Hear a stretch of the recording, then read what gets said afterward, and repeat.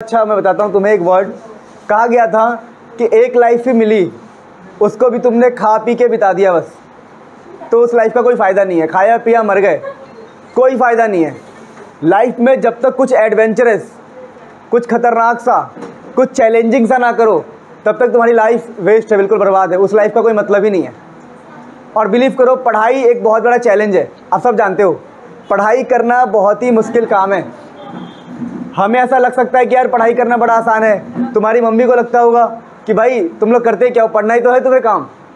उनको क्या पता कि पढ़ाई इज़ अ डिफ़िकल्ट वर्क आप मेरे से बोलो, दीवार तोड़ दो, मैं चार दिन में, पाँच दिन में, दो दिन में दीवार तोड़ दूँगा।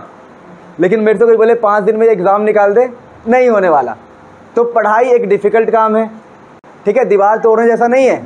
इसीलिए जब एक लेबर पूरे दिन लगाता है और एक दीवार तोड़ता है, उसको फाइव हंड्रेड रुपीज़ मिलता है। लेकिन अगर कहीं पर मैं पूरे दिन पढ़ने जाऊँ तो मेरे को कम से कम चार से पाँच हज़ार रुपये मिलेगा। तो फ़र्क समझ पा रहे हो ना? तो जो तुम मतलब वही है ना कि मेहनत करने से नहीं होता सिर्फ़, सही डायरेक्शन में मेहनत करने से होता है। एंड बिलीव करो, पढ़ाई एक ऐसी चीज़ है जो तुम्हें वो दिलाएगा जो तुम सोच भी नहीं सकते। पढ़ाई लाइफ चेंज करता है और ये करता ही करता है हंड्रेड परसेंट ठीक है ना?